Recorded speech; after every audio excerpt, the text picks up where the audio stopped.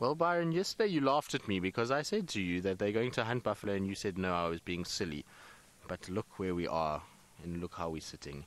So it was a bit of luck, obviously. There's no guarantee on any of these things. The only thing I do know about the Nkuhumas is if there is a buffalo anywhere within earshot or scent shot, there is no ways that they're not going to attempt to hunt buffalo. And it's the first herd of buffalo that we've seen on Djuma in some time. And it's amazing that we haven't had any sign of the Nkuhuma Pride for, well, it's like five days now, four five days, and all of a sudden, first herd of buffalo and the Nkuhumas are back in striking distance. What really is odd to me, though, is that they've left that carcass.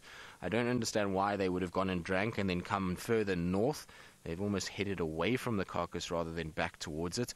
I, even though there's a Birmingham boy there, they typically won't leave a carcass just for a Birmingham boy. The whole pride normally sticks around unless they're a bit unsure about it. Maybe Nsuku's been in a bad mood and came in like a house on fire and pushed them all off it, and they've decided, well, they'll go back maybe later this afternoon once he's had his fill.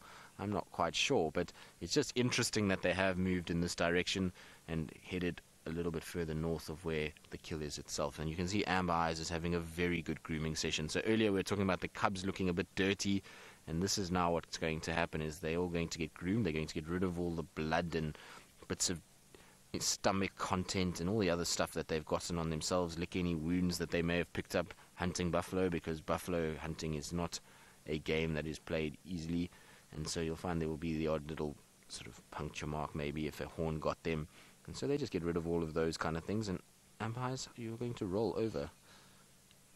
Look at that, and you can see one at the back is being groomed. So it's definitely the younger female by the looks of it that's not here. I think she must be with Nsuku that side.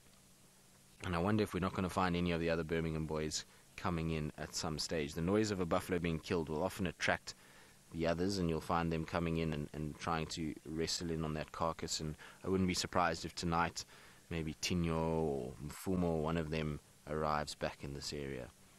Here's one of the, the cubs. It looks like the young male potentially. You see, it's getting a little thicker uh, collar of fur around the chin area, so I think it's the young male.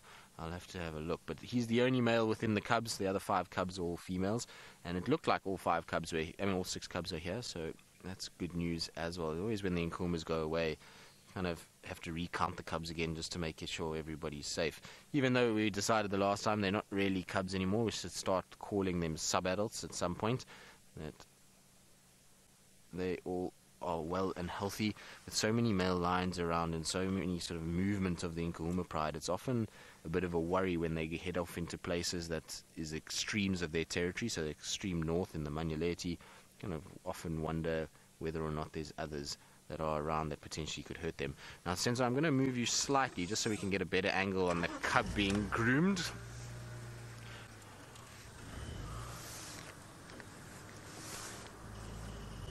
There's one of the other lionesses. So I just want to try and get into this position here because that will be better for cub being cleaned and it looks like the youngest cub with the amber eyes that's being groomed at the moment by mom. So there we go, look at that. Isn't that a face of happiness? It's like, yes, mom, clean me. I've eaten too much. Now you must clean me. I'm too lazy to do it myself. And there's like, you see, the eyes are much darker than the other cubs. It's almost like amber eyes. Not as vivid as what amber eyes' color is, but they still have that darker, deeper color than what we see on the honey-colored lionesses of the Nkuhumas and also on the other cubs. Most of the other cubs also have that honey color like that lion is there.